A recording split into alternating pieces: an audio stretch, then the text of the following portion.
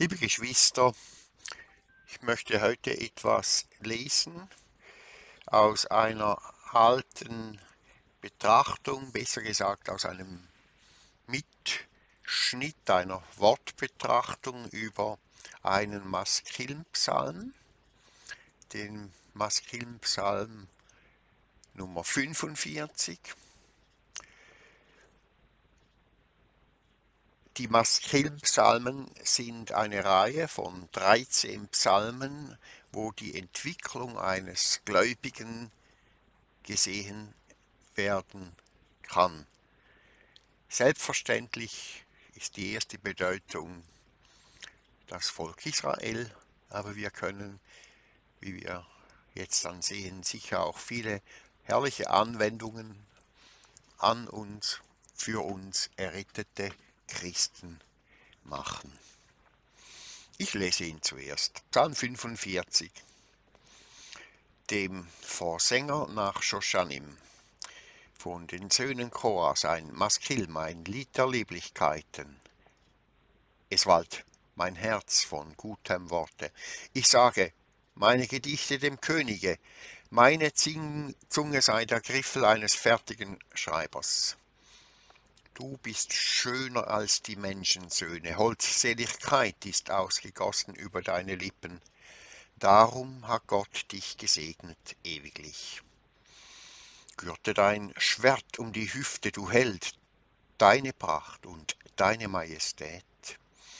Und in deiner Majestät ziehe glücklich hin um der Wahrheit willen und der Sanftmut und der Gerechtigkeit und Furchtbares wird dich lehren, deine Rechte. Deine Pfeile sind scharf, Völker fallen unter dir, im Herzen der Feinde des Königs. Dein Thron, o oh Gott, ist immer und ewiglich ein Zepter der Aufrichtigkeit, ist das Zepter deines Reiches. Gerechtigkeit hast du geliebt und Gesetzlosigkeit gehasst. Darum hat Gott, dein Gott, dich gesalbt mit Freudenöl mehr als deine Genossen. Myrrhen und Aloe, Cassia sind alle deine Kleider, aus Palästen von Elfenbein erfreut dich Seitenspiel. Königstöchter sind unter deinen Herrlichen, die Königin steht zu deiner Rechten in Gold von Ophir. Höre, Tochter, und zieh und neige dein Ohr und vergiss deines Volkes und deines Vaters Hauses. Und der König wird deine Schönheit begehren, denn er ist dein Herr, so huldige ihm. Und die Tochter Tyrus, die Reichen des Volkes, werden deine Gunst suchen mit Geschenken. Ganz herrlich ist des Königs Tochter drinnen, von Goldwirkerei ihr Gewand. In bunt gewirkten Kleidern wird sie zum König geführt werden. Jungfrauen hinter ihr her, ihre Gefährtinnen werden zu dir gebracht werden. Sie werden geführt werden unter Freude und Jubel. Sie werden einziehen in den Palast. An deiner Väterstadt werden deine Söhne sein zu Fürsten wirst du sie einsetzen im ganzen Lande. Ich will deines Namens gedenken lassen, alle Geschlechter hindurch. Darum werden die Völker dich preisen, immer und ewiglich. Wir betrachteten die Maskillen-Psalmen, die Psalmen der Unterweisung, deren erster Psalm Psalm 32 ist. Er spricht von der Glückseligkeit der Vergebung, vom gerechtfertigten Menschen und stellt die Erkenntnis Gottes dar, wie sie unter den Verhältnissen des neuen Bundes gekannt werden wird. Da wird Gott erkannt in Vergebung und Rechtfertigung und ferner als Befreier, Leiter und die Freude seines Volkes. Dies alles ist gerade, was uns in dem Evangelium gebracht wird, nämlich die dem neuen Bunde gemäß Erkenntnis Gottes, die der Seele aufgrund der Buße zugute kommt. Der nächste Psalm ist Psalm 42. Dieser und der 43. gehören zusammen. Psalm 43 hat keine Überschrift. Doch wenn wir beide Psalmen lesen, erkennen wir, dass sie einen Gedankengang haben. Sie sind in Wahrheit Teile eines Psalms. In ihnen vertieft Gott durch die persönliche Übung sein Werk in den Seelen seines Volkes, sodass sie, anstatt lediglich mit dem zu gehen, was öffentlich gang und gäbe ist, dahin kommen, persönlich ein wirkliches Seelenband mit Gott zu haben. Man kann mit dem, was unter dem Volke Gottes allgemein Brauch ist, gehen, sich mit ihnen an dem freuen, was zu genießen. Das heißt nach Psalm 42 mit einer Schar einherziehen. Doch Gott möchte uns etwas mehr geben. Es ist ganz schön mit der Menge zu wandeln, zumal zum Hause Gottes. Doch dessen können wir beraubt werden. Und deshalb wünscht Gott in unseren Seelen etwas zu gestalten, was uns nicht genommen werden kann, und dies durch eine gewisse persönliche Prüfung, sodass wir auch nach der Beraubung unseres äußerlichen Vorrechts Freude in ihm haben. Der Mann im Psalm 42 wird dahin geführt, ein tief inneres Verlangen nach Gott zu haben. Er ist dessen geraubt worden, was er in der Volksmenge genoss.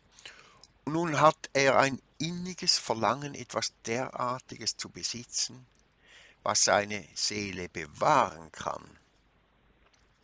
Im Psalm 43 wird angedeutet, wie das erreicht wird.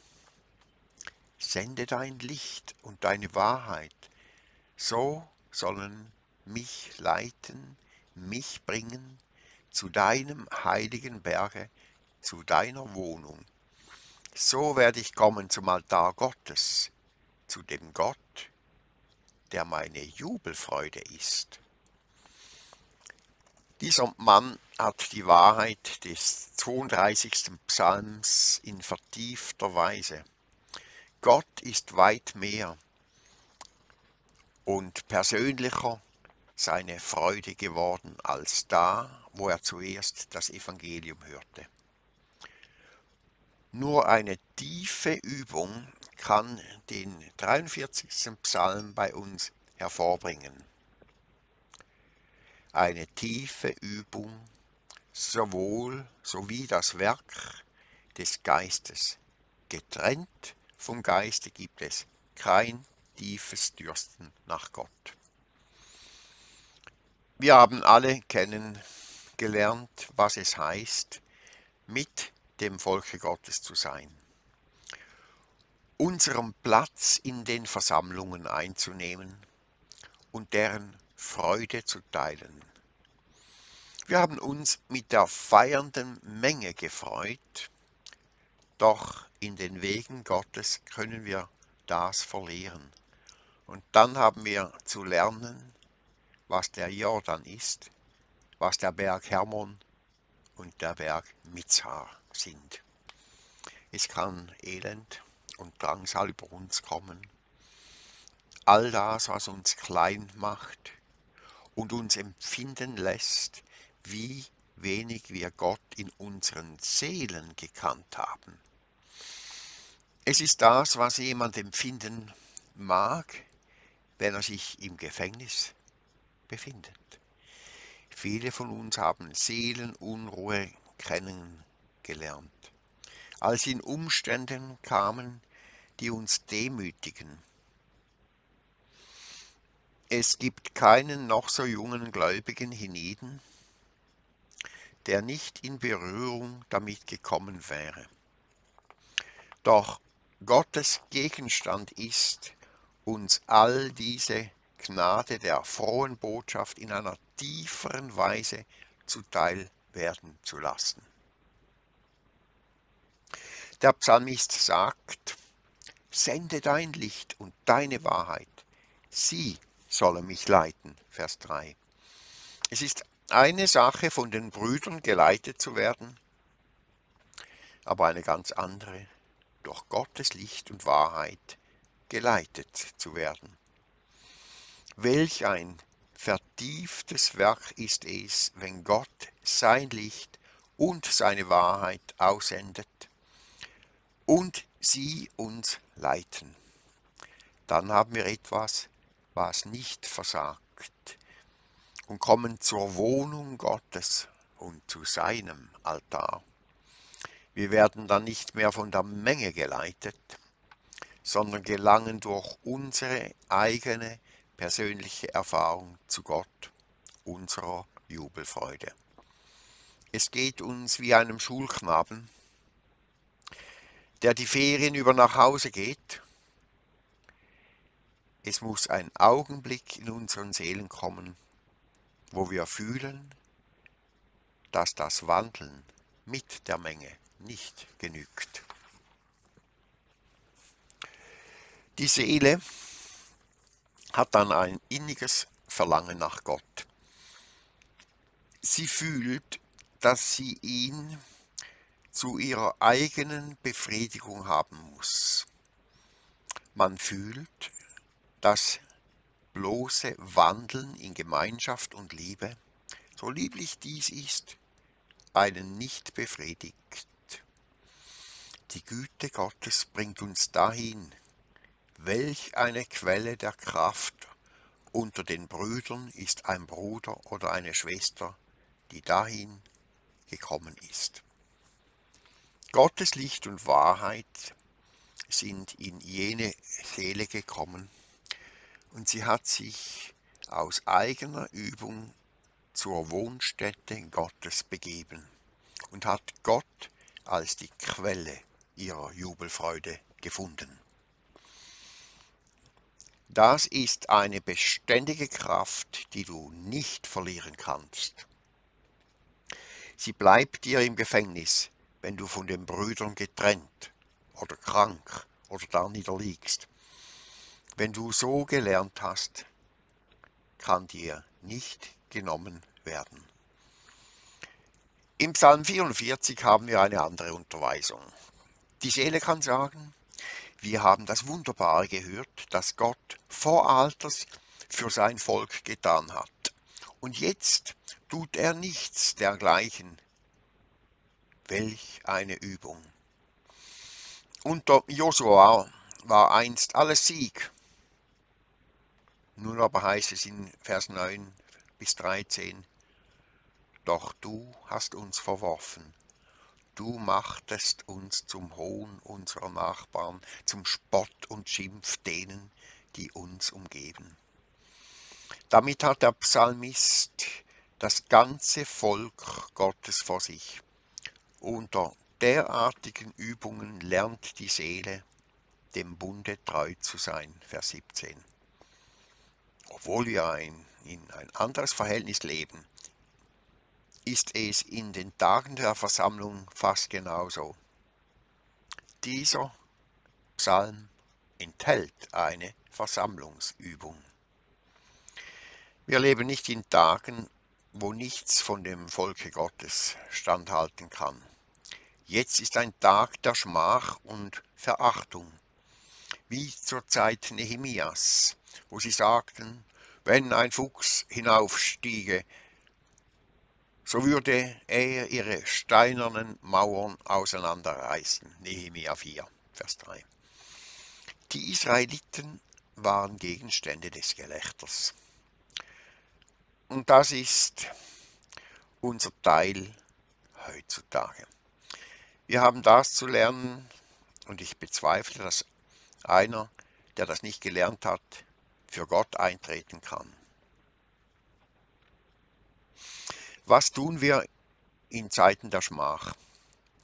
Vers 17 und 18 sagt uns, dieses alles ist über uns gekommen, doch wir haben deiner nicht vergessen, noch betrüglich gehandelt wider deinem Bund.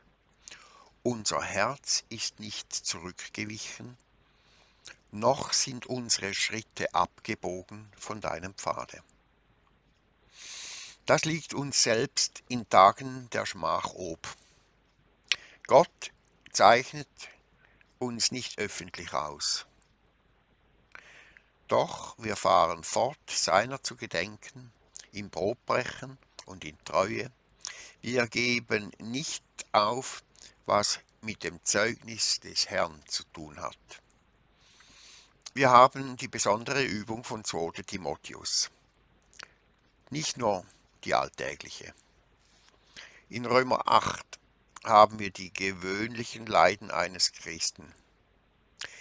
Jetzt haben wir nach dem zweiten Timotheusbrief die außergewöhnlichen Leiden der letzten Tage.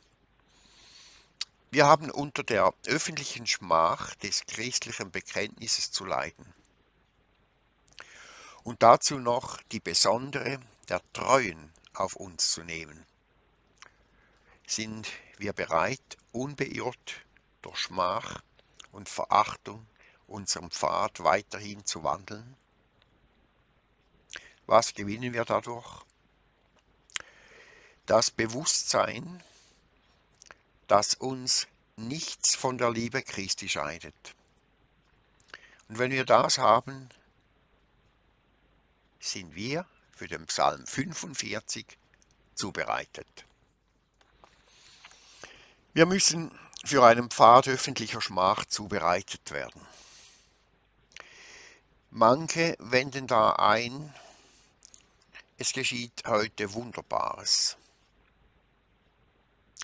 Wir hatten an unseren Orte tausend Bekehrte, weshalb gehst du nicht mit uns? Andere sagen, wir können Kranke heilen, mit Zungen reden. Wir haben alles wie im Anfang. Mit alledem verbindet man aber Menschenverherrlichung. Wenn du so etwas begehrst, fällst du in die Hände Satans. Wir haben Schmach zu tragen. Paulus im Gefängnis ist ein Vorbild von dem Platze des Zeugnisses heutzutage. Ein Evangelist sagte mir einmal, wir sollten in den herrlichsten Gebäuden des Landes predigen. Ich antwortete, nach der Schrift sollte ich eher erwarten, den Evangelisten im Kreisgefängnis eingeschlossen zu sehen. Das Zeugnis hat immer Schmach zu leiden gehabt. Doch heute betrachtet man die Sachlage anders. In den Tagen der Apostel war die ganze Kraft der zukünftigen Welt vorhanden. Wir haben keine Apostel, die umhergehen und Wunder wirken, so dass die Welt dadurch gleichsam umgekehrt würde. Heute haben wir nichts dem Ähnliches. Wenn die Brüder ohne eine Trennung untereinander weiter bestanden hätten, so würde es keine Schmach gegeben haben aber die Geschichte der göttlichen Bewegung in der Versammlung und wie diese sich auswirken, hat uns Schmach eingetragen. Die Leute sagten, ihr habt euch alle gegeneinander abgeschlossen, keiner weiß, wie viele Parteien nun bestehen. Wir sind Gegenstände des Gelächters. Sind wir jedoch bereit, mit dem Bund und dem Gedanken des Herrn weiter zu wandeln und uns nicht zurückzuwenden. Auf diesem Wege würden dann unsere Herzen voll von Christus sein. derartiges ist heute treuen Männern anvertraut. Auch Schwestern sind darin, wie ich glaube, mit eingeschlossen. Das Herz keines anderen könnte voll von Christus sein. Wir sangen vorhin das Lied, unser Herz ist voll von Christo. Ist das so? Oder begehren wir das wirklich? Ich kann das im Sinne eines Gebetes singen, wie auch viele andere Lieder, mit dem innigen Verlangen, in dieser Wahrheit zu stehen.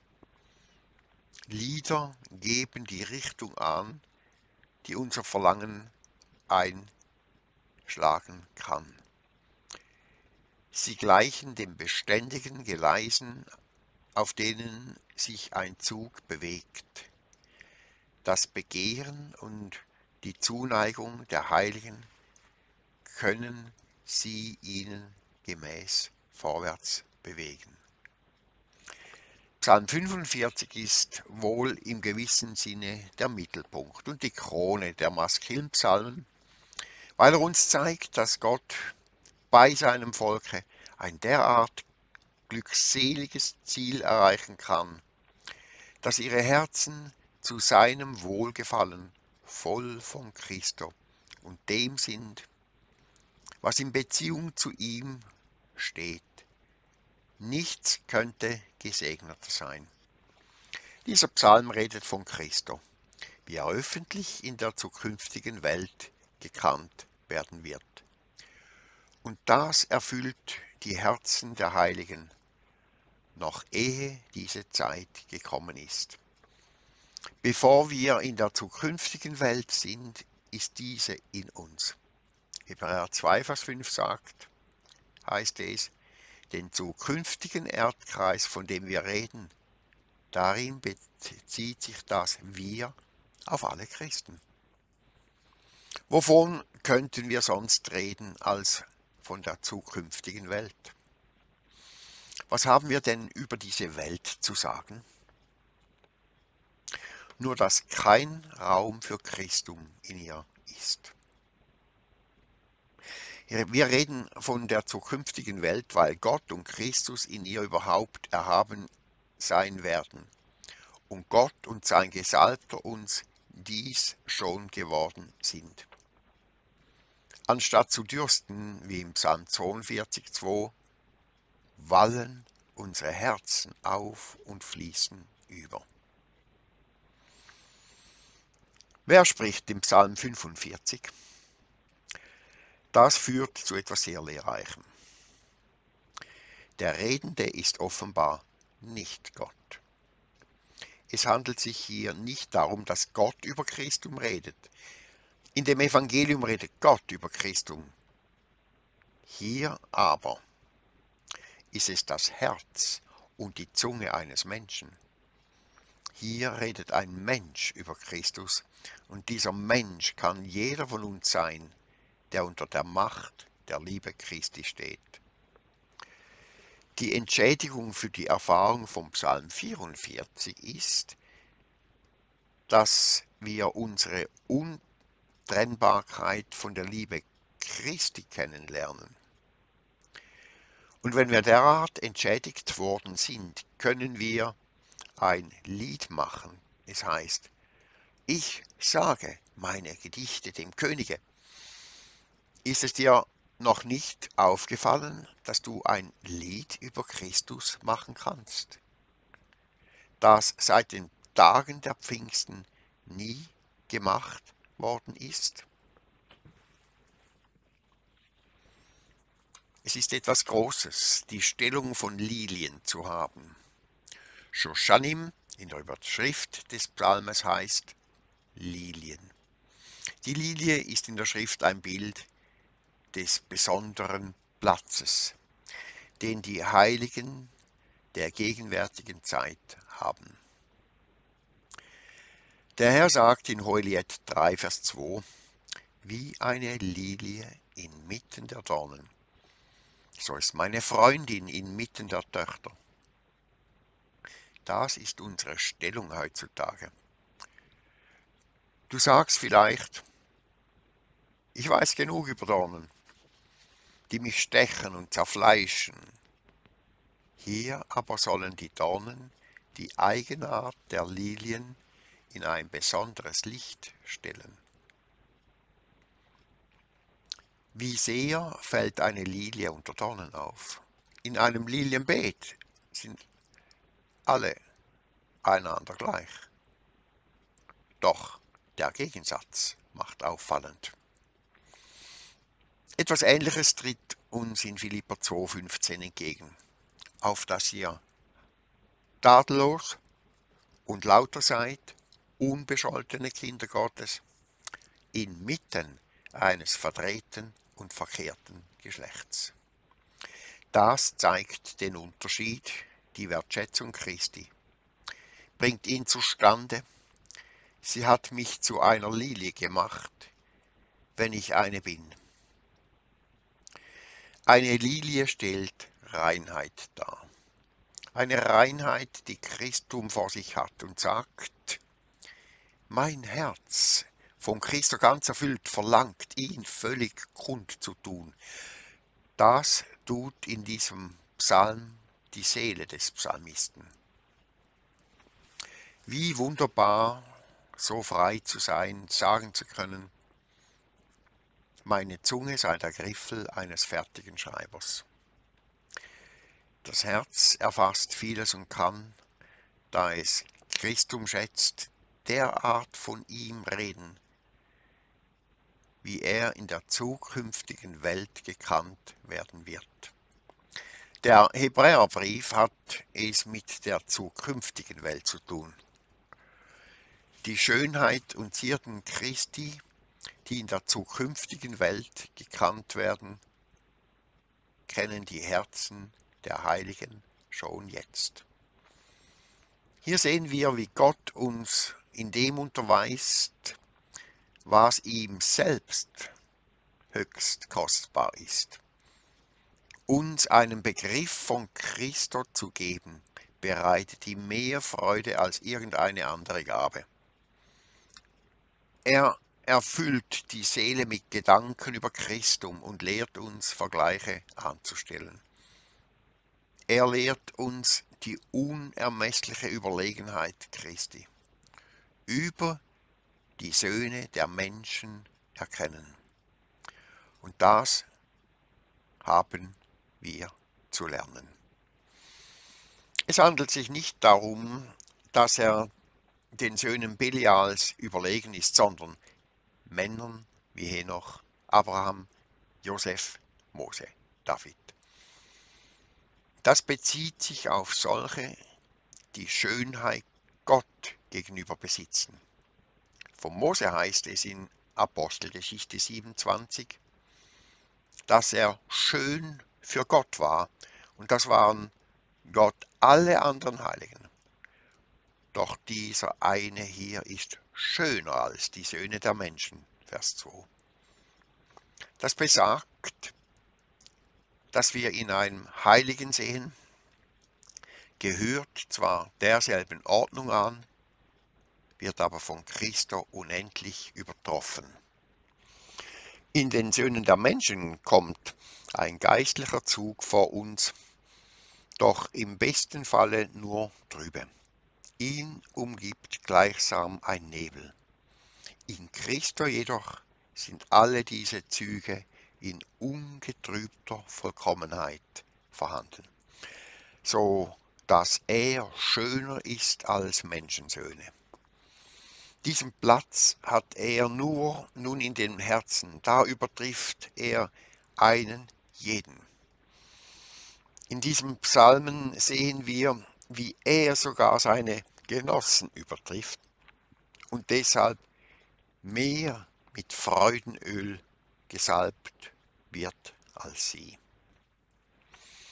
Je mehr wir seine Züge in den Heiligen sehen, desto mehr können wir das Übermaß in Christo schätzen.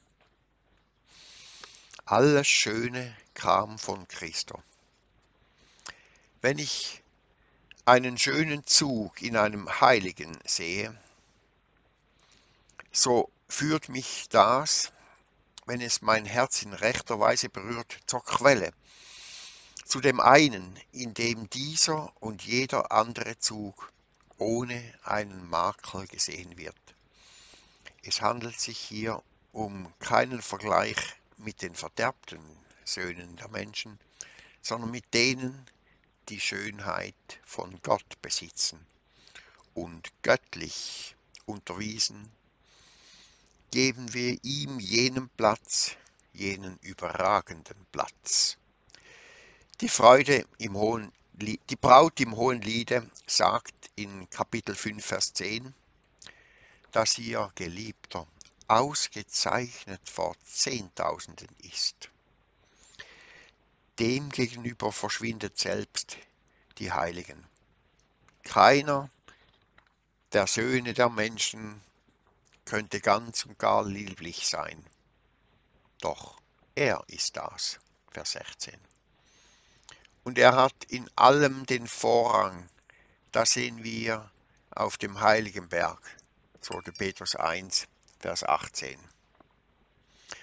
Da hatten wir keine zwei bösen Menschen zu erscheinen, sondern Mose und Elia. Petrus lernte das und so konnte er, als der Herr die Frage stellte, ihr aber, was saget ihr, dass ich sei? Sie beantworten. Andere hätten gesagt, Johannes der Täufer, Elia, Jeremia oder einer der Propheten. Das waren alles Männer, die schön vor Gott waren. Doch er war schöner. Und so sagt Petrus, du bist der Christus, der Sohn des lebendigen Gottes. Matthäus 16, Vers 14 bis 16. Er übertraf sie alle bei weitem. Die Braut im hohen Liede sagt, das ist mein Geliebter. Kapitel 5, Vers 16. Welch eine Freude für Gott, wenn Gedanken wie diese über seinen Geliebten einen wahrhaftigen Ausdruck durch eines von unseren Herzen findet. Dieser Psalm ist ein Lied über den Geliebten. Es werden darin nicht nur seine sittliche Vollkommenheiten anerkannt, sondern er ist der Geliebte unserer Herzen geworden. Er ist unseren Herzen das geworden, was er Gott ist. Er ist Gottes Geliebter sowie der unsere. In welch inniger Zuneigung sind wir mit Gott und dem Geliebten verbunden. Bis dahin hatten wir in unserem Psalm das Gefäß. Alles in dieser Welt, was göttliche Schönheit und Tadellosigkeit in den Augen Gottes besitzt, übertrifft und übersteigt es und setzt es beiseite. Ich war gewohnt, in diesem Vers einen Hinweis auf den natürlichen Menschen zu sehen. Doch es hat mir geholfen, als ich sah, dass alles, was schön vor Gott war, in diesem einen übertroffen und verklärt ist. Nun sagt Gott gleichsam, dies ist das Gefäß, das ich mit meiner Gnade erfüllen werde, damit er sie über euch gegenüber zum Ausdruck bringe. Holdseligkeit ist ausgegossen über deine Lippen, Vers 2. Zuerst sehen wir das Gefäß als das, was er persönlich ist. Und dann die über seine Lippen ausgegossene Holdseligkeit. In jenem Vollkommenen finden wir alle kostbaren Gedanken Gottes dem Menschen gegenüber, ihren Ausdruck. Alles war in diesem Gefäß enthalten, damit es zu dir und zu mir ausfließe. Das haben wir im Evangelium des Lukas. Dort wird er als das Gefäß, nicht als die Quelle angesehen. Da sehen wir das Gefäß und sodann, was hineingetan ward. Und damit steht das Wohlgefallen Gottes an ihm in Verbindung. In Sprüche 8 sagt die Weisheit, der Pflegling der Liebe Gottes. Ich war Tag für Tag seine Wonne. Doch inwiefern? Als vor ihm mich ergötzend auf dem bewohnten Teile seiner Erde. Und meine Wonne war bei den Menschenkindern. Verse 30 und 31. Gottes Wonne an ihm steht in Verbindung mit der Tatsache, dass Gott in ihm alle seine Gedanken der Gnade gegen die Menschen zum Ausdruck gebracht hat. So geschah es bei seiner Taufe, als der Herr seinen Platz unter den bußfertigen Überrest einnahm. Zu dieser Zeit öffnete Gott die Himmel, um zu sagen, dieser ist mein geliebter Sohn, an dem ich Wohlgefallen gefunden habe. Matthäus 3, Vers 17. So wie er seinen Platz unter den Menschen einnahm, findet Gott sein Wohlgefallen an dem Gefäß seiner unendlichen Gedanken der Gnade. Gott möchte unsere Herzen mit Gedanken über Christus füllen denken wir an die Gedanken im Evangelium Lukas in den Kapitel 4, 5, 7, 14, 15, 16 und 23. Da haben wir eine wahre Hochflut des Herzens Gottes, dem Ausdruck der Gnade des Himmels in Christo. Öffentlich wird dies in der zukünftigen Welt gekannt werden und Wunder der Wunder wir kennen es jetzt. Darum hat Gott dich gesegnet, ewiglich, heißt es dann im Vers 2. Er hat ihn auf immer da gesegnet. Das führt uns zu der neuen Stellung, in der er jetzt gefunden wird. All die Gnade, deren Gefäß es hienieden war, besteht in ihm, dem erhöhten und verherrlichten Menschen fort. Er ist auf immer da zu Rechten Gottes gesegnet. Das ist der große Gegenstand des Zeugnisses zu Anfang der Apostelgeschichte. Was auch in ihm als in einem demütigen Menschen an Gnade zum Ausdruck kam, sehen wir in ihm den verherrlichten Menschen. Als im Psalm 45, alles im Psalm 45 hat Christum zum Mittelpunkt, ist von ihm erfüllt und das ist die wahre Frucht geistlicher Freiheit.